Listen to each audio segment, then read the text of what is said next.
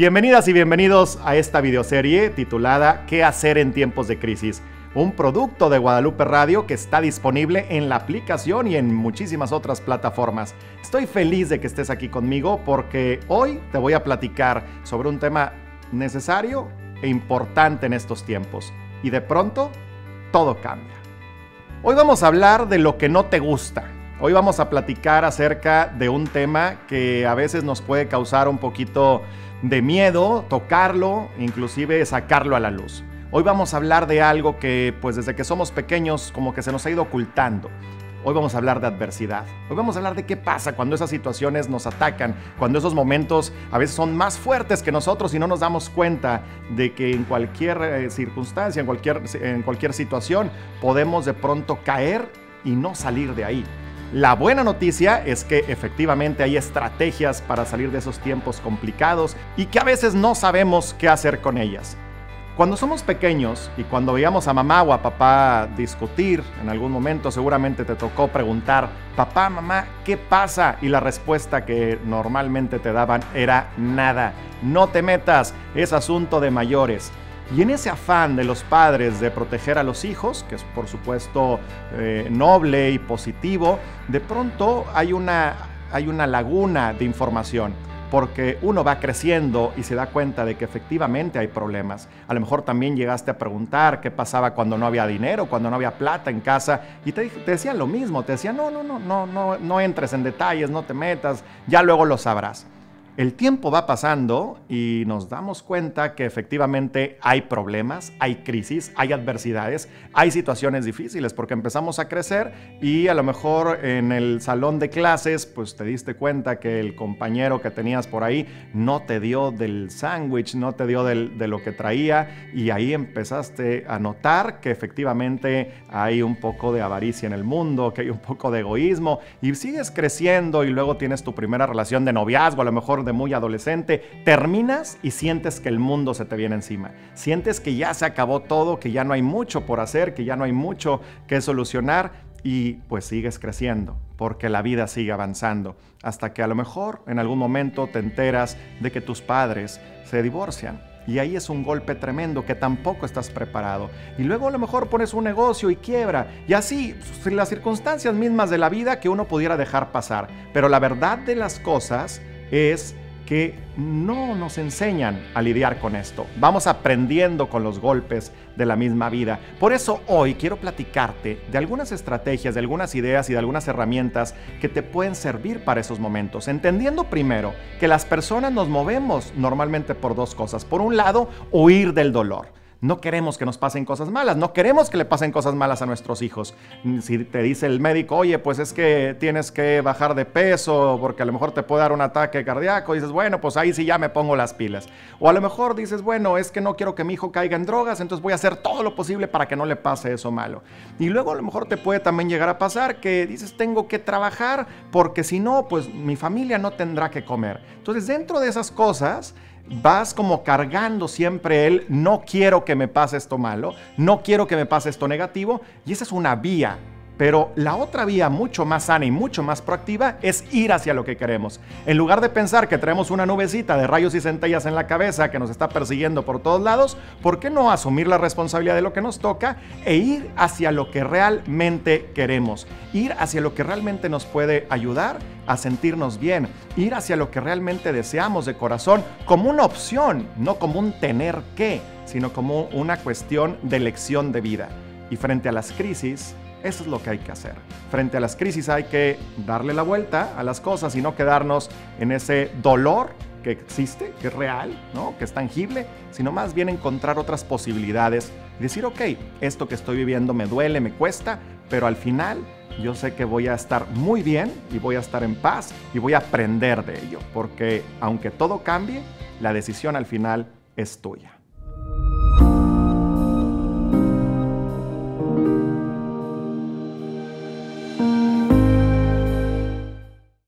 Frente a las crisis tenemos dos opciones. Huir de ellas o aceptarlas como parte de nuestra realidad y responsabilizarnos de lo que nos toca. Quiero platicarte algunas historias en donde se ha visto involucrado este tema y que puede ayudarnos también para tener mayor claridad para lo que sigue. Sabes que hace alrededor de 14 años aproximadamente, yo recibo una llamada telefónica. Estaba yo en un programa de televisión en, mi ciudad natal, en Monterrey, y era mi mamá.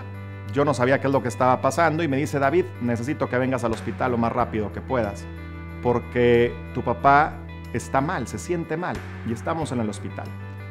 Yo en ese momento no sabía qué hacer ni qué decir, lo único que sí pensé fue todo el camino, todo el trayecto. Decía, bueno, pues es que no sé qué va a pasar con mi papá, pero al menos no me he atrevido a decirle cara a cara, frente a frente, te quiero mucho. Sí, a lo mejor se lo había dicho en alguna fiesta o en algún evento, etcétera, pero no, no había como, no me había dado esa oportunidad de sentarme con él y decirle, papá, gracias por la vida, gracias por lo que me das, te amo, ¿no? Todo el trayecto al hospital fui pensando eso. Cuando llega a la zona de urgencias, estaba mi papá ya en una camilla, como en una plancha metálica, con una sábana blanca y una enfermera al lado. Y de pronto llegó un doctor, llegó un médico. Me dice su papá, le digo sí. Me dice, bueno, pues acaba de sufrir un derrame cerebral y está a punto de morir. Despídase de él.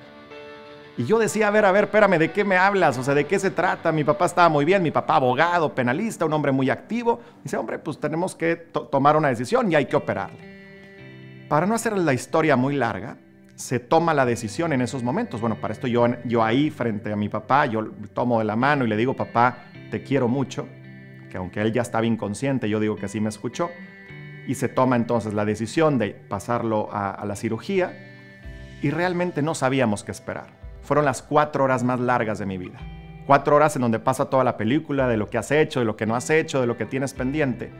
Y justo después de ese tiempo sale el doctor y nos dice, y nos da la noticia, que mi papá se ha salvado de un milagro. Si existiera otra palabra te la diría, la verdad es que no la hay, la verdad es que fue un completo y verdadero milagro, porque el daño cerebral ya era muy grande. Y estuvimos dos meses en cuidados intensivos en el hospital, en la zona de terapia intensiva, que es una de las más riesgosas en cualquier hospital del mundo. Y ahí aprendimos muchas cosas, pero también nos dimos cuenta de las secuelas que tenía este derrame cerebral con mi papá, que aunque sí estaba con vida, mi papá pierde el habla, el movimiento del lado derecho y la memoria. Entonces imagínate, a lo que yo me dedico todos los días, que es hablar y hablar y hablar de aquí por allá, mi papá no podía ni decir David, no podía ni decir te quiero. Además de que pierde el habla, como te digo, pierde el movimiento del lado derecho y había que bañarle, darle de comer y todo lo que esto implica. Quien lo ha vivido sabe lo que estoy hablando. Y además pierde la memoria, entonces no sabía quiénes éramos nosotros, sus hijos, ni quién era mi mamá, el amor de su vida. Estuvimos ocho años, ocho largos años de crisis, de adversidades, de situaciones difíciles, en donde se nos movió el tapete tal cual y nos cambió todo el orden y nos cambió todo lo que teníamos. Pero también eh, durante esos ocho años recibimos un montón de bendiciones, cosas que fueron surgiendo en el camino y otras más que desde la fe le pedíamos a Dios nuestro Señor que nos la mostrara.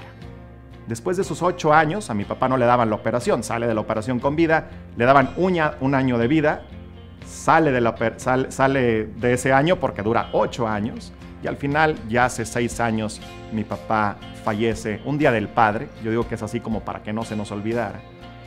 Y fue un momento de mucha, mucha bendición y mucha gratitud. Y tú dirás, bueno, pero ¿cómo David? Si estaba muriéndose tu papá, o sea, el, amor de tu vida estaba ahí en la cama, sí, tuvimos la, la bendición también de estar como familia, como hermanos, pero fue un momento muy bueno, a pesar del dolor, por supuesto, porque una, nos pudimos despedir de él como queríamos, y otra darnos cuenta que no le estábamos diciendo a Dios por qué nos lo quitó, sino más bien le estábamos dando gracias por el tiempo que estuvo con nosotros. Definitivamente, la vida cambia. Y cambia cuando menos lo esperas. A nosotros nos cambió la vida, por ejemplo, con el tema de mi papá.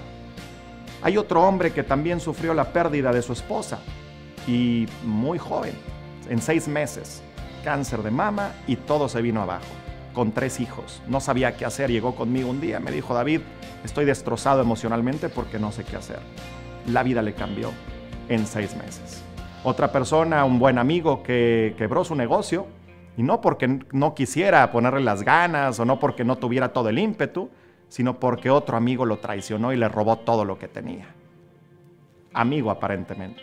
Situaciones que cambian, situaciones que son difíciles, situaciones que son complicadas. Pero hay algo que hacer con eso. No nos podemos quedar nada más con la historia. No nos podemos quedar nada más con el relato, con lo malo, y lo pongo entre comillas, porque la verdad es que siempre detrás de algo malo, siempre lo he dicho, hay algo bueno. Detrás de una crisis hay una oportunidad. Detrás de un problema grandísimo hay una bendición. Al principio no lo vemos, eso está claro.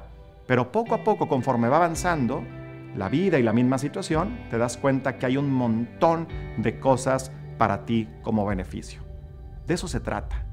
De sí, darnos cuenta que todo cambia, que hay historias, que tú la tienes, que yo la tengo, pero que al final queda todo el amor que pusimos en esa situación y lo que vamos a hacer a partir de ahora con esta nueva historia.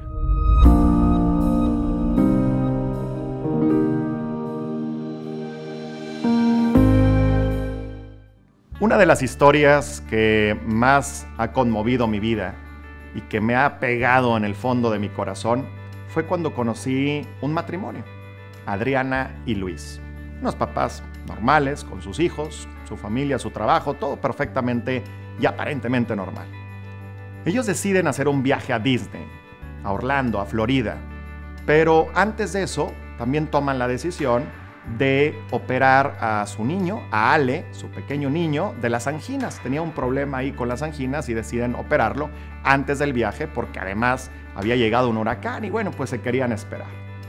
El caso es que van a la operación, sale la operación todo muy bien, regresan a la casa, Adriana y Luis, con su hijo y con sus niños, y pues pasa un cierto tiempo y de pronto Ale empieza a tener una hemorragia y se asustan los papás, lo llevan al hospital, no sabían qué estaba pasando y resulta ser que a las horas Ale fallece. Fue una historia que pudo haber quedado ahí, como la triste y dolorosa pérdida de un hijo. Sin embargo, Adriana y Luis, dos hombres de fe extraordinarios, un matrimonio ejemplar, que todo el tiempo están buscando a Dios y haciendo apostolado y sirviendo a la gente, reciben una noticia justo ahí en el hospital y les hablan que qué pasaría si donan los órganos de su hijo. Deciden hacerlo y en el funeral se acerca un sacerdote y se acerca el médico y se acercan varias personas a decirles, oigan, los órganos de su hijo salvaron seis vidas. Tienen seis nuevos hijos. En ese momento, en ese momento, deciden crear una fundación que se llama Fundación Ale que es una obra de apostolado que está en todo México y en diferentes partes del, mundo para poder promocionar el tema de la donación de órganos y también hacer trasplantes gratuitos a personas que no tienen los recursos para hacerlo. Cuando pasa esta situación, que muere, muere Ale, me acuerdo que, que, Adriana, bueno, me platicó años después que se acercó con sus hijos para darles la noticia y uno de ellos le dijo, Luis fue el que le dijo, mami, ¿y ya no va a ir a Disney con nosotros? Y la respuesta de Adriana fue, no, mi amor, él ya llegó a un Disney mucho más bonito que al que tú y yo vamos a ir. Y precisamente conocer esta historia, que Adriana luego ya le pedí que escribiera el prólogo de un libro mío que se llama Los elefantes no vuelan, entendí que la fe es lo que al finalmente queda para movernos, para descubrir otras cosas. Así como te platicaba ahorita de mi papá, te platicaba ahorita de este hombre que perdió a su esposa, del otro que perdió su trabajo. ¿Cuántas cosas tú has vivido en tu vida que te han movido el tapete tal cual y que te han puesto en situaciones donde dices, yo creo que de esta ya no salgo? Lo mismo pensé yo cuando vi a mi papá en un hospital.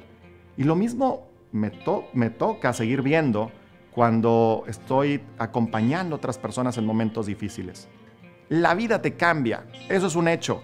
Pero lo que realmente importa es preguntarnos, ¿qué hay en aquellos a quienes parece que ningún huracán los hace caer hasta el fondo? ¿Qué tienen esas personas que a pesar de los terremotos de su vida se mantienen de pie? ¿Qué es lo que hacen estos seres que pareciera ser de otro planeta o extraordinarios para ser resilientes y para salir bien librados de situaciones tan tristes y tan dolorosas como las que te he platicado?